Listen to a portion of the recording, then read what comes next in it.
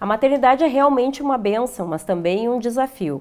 Dificilmente alguma mãe não ouviu uma conversa do estilo: tá na hora de dar um suquinho, bebê também sente sede, tá mamando até agora, ele já fez mais de dois anos e ainda está sendo amamentado, mas sente fome, precisa de algum complemento. Fora aquelas mães que também sabem daquela velha máxima que muitas vezes se ouve por aí Leite de mãe não é suficiente porque o teu leite é fraco, porque ele está precisando mamar mais. Essa choradeira toda aí só pode ser fome. Acho que um dos maiores desafios hoje em dia é acompanhar a ciência no que diz respeito às orientações de alimentação, principalmente para bebês. A gente nunca tem muita certeza sobre os, os períodos adequados e o tempo que de fato se deve ter a livre amamentação, a inclusão de outros alimentos e algumas didáticas que cada ano se fortalecem e se renovam à medida que os estudos dentro da ciência da saúde avançam. Hoje nós reunimos algumas mães aqui e uma especialista em nutrição infantil para tirar algumas dúvidas e saber até que ponto rola essa história de Vamos mamar até dois anos, vamos mamar um pouco menos. Qual é o momento de dar o chazinho ou qualquer outro alimento que complemente a amamentação, já que o leite materno é de fato o alimento mais completo e mais indicado sempre para a primeira fase da infância. Ao meu lado direito está então a Bianca Casaroto, que é a nutricionista que vai nos dar um parâmetro mais ou menos, né, Bianca, de como as coisas começam a partir do momento que o bebê chega aos seis meses, que é a primeira orientação de iniciar a complementação alimentar, né? E deixando claro também, né, Bianca, que fome é instintivo, mas a alimentação precisa ser doutrinada, educada e exercitada. É isso mesmo? Exatamente. A gente precisa entender que essa questão da, da maternidade como algo instintivo, intuitivo, nem sempre se aplica para todas as questões, especialmente no que diz respeito à alimentação. Né? Nós precisamos entender que uh, o ato de se alimentar é um ato aprendido, e ensinado, e esse período dos seis meses é o período em que a criança vai ter maturidade fisiológica para começar a receber alimentos que não o leite materno ou a fórmula infantil.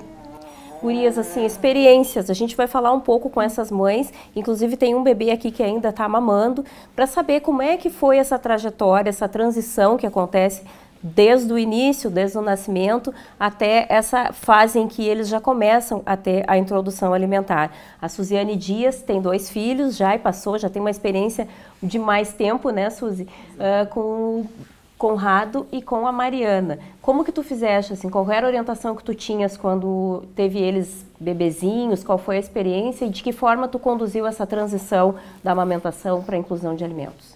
O Conrado nasceu há 13 anos atrás. A nossa realidade uh, de informação era um pouco diferente. Nós ainda não estávamos vivendo esse boom tecnológico, então a gente tinha muitas informações, nós tínhamos muito conhecimento, mas ainda não tanto quanto hoje. Eu, na verdade, sou um pouquinho contra o que acontece hoje, assim, essa meio uh, escravidão que está acontecendo, de que é necessário que seja o aleitamento materno que tenha.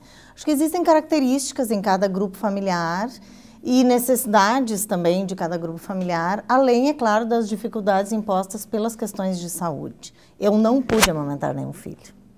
Então, eu sou uma mãe que não teve esta, esta visão, não tive essa condição. Mas tenho certeza que fiz o melhor possível por cada um deles. Né? Alimentei da melhor forma possível cada um. Bianca, o que, que acontece quando a mãe não pode amamentar? Qual é a orientação que se tem hoje? O que, que há de mais uh, uh, atualizado no sentido de orientação para aquela mãe que não consegue amamentar no peito? Bom, existem muitos fatores que impedem uh, as mulheres de amamentar, né? A gente sabe que o leite materno é o padrão ouro de alimentação nos primeiros seis meses de vida de forma exclusiva, mas a gente sabe que em alguns casos isso não é real, isso não é possível. Então, é a partir daí que entram as fórmulas infantis, que são alimentos específicos para para crianças uh, menores de seis meses e até dois anos a gente tem fórmulas infantis específicas. Uh, os nutrientes e a composição das fórmulas infantis, ele chega muito próximo à composição do leite materno, à exceção da, das imunoglobulinas, que são as proteínas ligadas à questão imunológica, do reforço imunológico que passa da mãe para o bebê, né, pelo leite materno. Essa é basicamente, uh, dentre outros fatores, né, de sabores dos alimentos que a mãe consome, aromas dos alimentos que as mães consomem, que não vai ter na fórmula infantil, mas a fórmula é o alimento mais próximo ao leite materno. Certo. Agora a gente tem ali então a Thaís dando mamar para o bebê, ainda é pequenininho, né, Thaís? Ele é teu primeiro filho? Primeiro. E como é que está sendo esse processo de amamentação? Uh, o Henrique, quando nasceu, uh, até 26 dias eu consegui manter a amamentação exclusiva materno. Aí, por fatores externos, ele acabou tendo internações nesse meio tempo. E aí, por um pouco de, de problemas de nervosismo e tudo mais, e até um pouco de falta de orientação, eu acabei introduzindo o complemento em fórmula.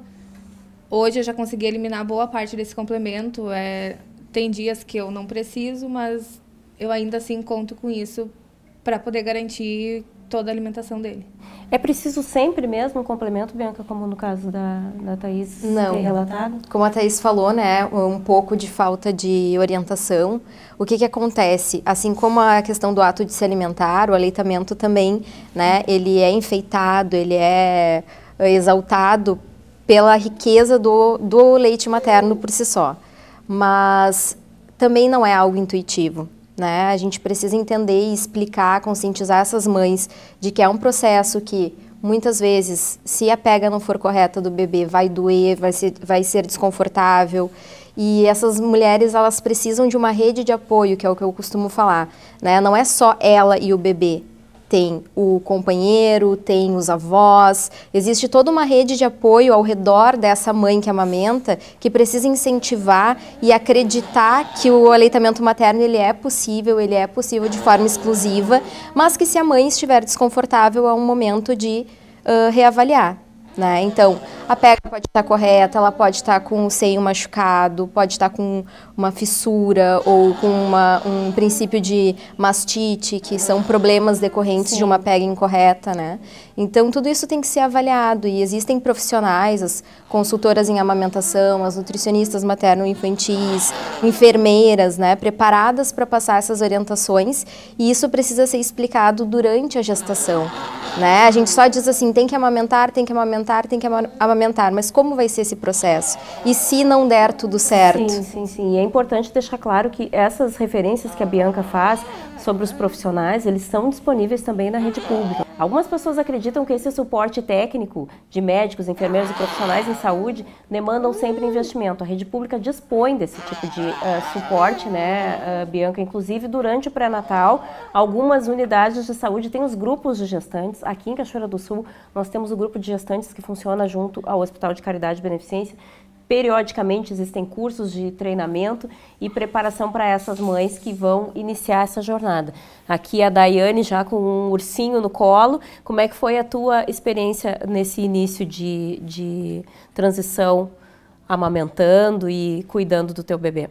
É, o, o, Miguel, ele nasceu de 34 semanas, então ele não teve o aleitamento exclusivamente só do peito, né? O meu primeiro bebê, que tem 5 anos agora, ele foi só exclusivo peito. Então, já o segundo bebê foi um pouquinho diferente a introdução, né? Ele teve que ter complemento já desde o hospital, que a gente teve internado lá um tempinho. E aí, após a saída, eu acabei deixando o complemento porque eu me senti um pouco mais livre. Não dessa demanda de não ser só o peito, né? Para mim poder sair, para mim poder ter o meu tempo livre também e conseguir deixar ele com outras pessoas, eu decidi continuar com a fórmula, não só ser exclusivamente do peito. E tem sido até hoje. Hoje, sim, ele tem mais uh, fixação só no peito, né? Ele não tem só o complemento do, durante o dia, mas ele ainda complementa sim. Algumas mães se sentem aprisionadas pelo, pelo horário, aquela questão de mamar de três em três horas. Foi uma experiência que eu vivi com os meus filhos, eles mamavam como reloginho, de três em três horas, então tem que ter aquela disponibilidade permanente, né? É, optar por um complemento até para ter um pouco mais de autonomia é uma, uma opção saudável? Na verdade, eu costumo dizer que cada gestação é uma gestação, cada parto é um parto e cada bebê se comporta de uma maneira diferente, né? Então a gente uh, tem bebês que mamam de 3 em 3 horas, tem bebês que vão querer uh, aplicar livre demanda que a gente fala de fato, assim, eles vão mamar de 30 em 30 minutos, de uma em uma hora, né? Então isso tudo precisa ser avaliado. No caso do, da opção pelo complemento, uh, é preciso fazer um cálculo de quantas mamadeiras, a dosagem uh, da fórmula infantil que vai ser diluída. Uh, precisa de um preparo e um cálculo nutricional para que a gente não diminua a quantidade que ele precisa, não de, ofereça menos do que ele necessita e também para que essa criança não seja super alimentada. Né? A gente vem de uma cultura que comer bem é comer muito. Né? Então a gente precisa desmistificar isso e isso uh, se aplica às fórmulas infantis também. A diluição ela precisa ser correta, não precisa uh, ser bem engrossado, né? Aquela cultura dos nossos avós do mamar engrossado, uhum. para deixar bem forte, é para ficar para ficar bem uh, bem alimentado e dormir por mais horas, né? Então isso tudo uh, acaba impactando na questão da, do, da sensibilidade dessa criança a ter essa noção de saciedade ou não. A questão da fórmula infantil como opção é o que eu sempre digo. Quem tem que tomar essa decisão são os pais, né? Os pais acham que ah, dentro da rotina deles, dentro do contexto deles, o aleitamento, o aleitamento exclusivo não, não se aplica, vai ser difícil, bom, é uma opção do casal, né? Uhum. Uh, eu, como profissional da saúde e que trabalho nessa área, eu preciso sempre incentivar o aleitamento materno exclusivo e tentar diminuir o máximo possível esses complementos. Existem muitos mitos relacionados à alimentação da mãe e o leite materno, né? A gente sabe que quanto mais variada a alimentação da mãe, mais nutritivo vai ser esse leite materno, com certeza. E cada dia esse bebê vai receber um sabor, um, um leite com um sabor diferente. Aí vocês imaginem vocês tomando todos os dias o mesmo sabor, a mesma comida, né? A gente acaba tendo essa monotonia alimentar em relação aos sabores. Então, em relação ao leite materno, acontece da mesma forma. O que a gente precisa avaliar é que não existe alimento contraindicado em caso de aleitamento materno. O que acontece é que determinadas substâncias, quando consumidas em excesso, elas podem passar em excesso também para o leite materno e aí essa criança vai ter alguma reação. Então, por exemplo, mães que são viciadas em chimarrão e café. Então, normalmente a cafeína, que é uma substância que passa com facilidade para o leite materno, ela se concentra mais e a criança tende a ficar muito agitada, uh, ter dificuldade de dormir, né? Uh, uma questão também que é um mito que a gente precisa desmistificar o quanto antes é em relação à cerveja preta. Né? Ah, sim, sim. Que antigamente diziam que quanto mais cerveja preta tomasse, ajudava na produção de leite, exatamente. Que era um alimento que aumentava a produção de leite, né? O que que acontece? O álcool, ele é uma substância que passa para o leite materno, isso é comprovado.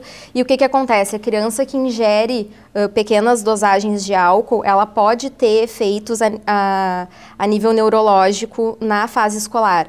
Então, ela pode ter algum problema de déficit de atenção ou, ou, algum déficit de aprendizagem em função de ter recebido precocemente o álcool através do leite materno. Então, não existe alimentos contraindicados. O que a gente precisa avaliar é, observa o bebê, se ele teve alguma reação a algo que vocês comeram em excesso, aí sim, suspende ou diminui a quantidade, mas uh, tirando bebidas alcoólicas, o resto